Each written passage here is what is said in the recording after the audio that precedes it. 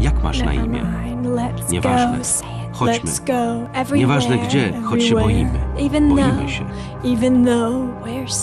Bo to jest życie.